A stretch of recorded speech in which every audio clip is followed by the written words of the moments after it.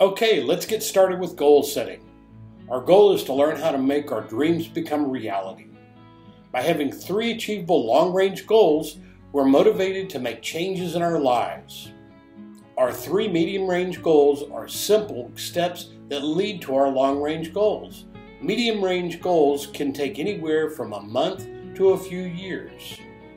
Our short range goals are created by listing everything we need to do in a day to reach our medium and long range goals.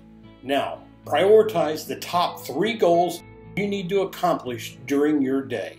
Complete these three daily goals first thing in the morning so you can have freedom to enjoy the rest of your day to complete other goals or to take care of yourself.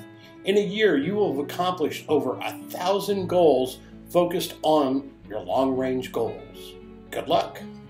Say out loud your three long range goals. Now, say out loud your three medium range goals.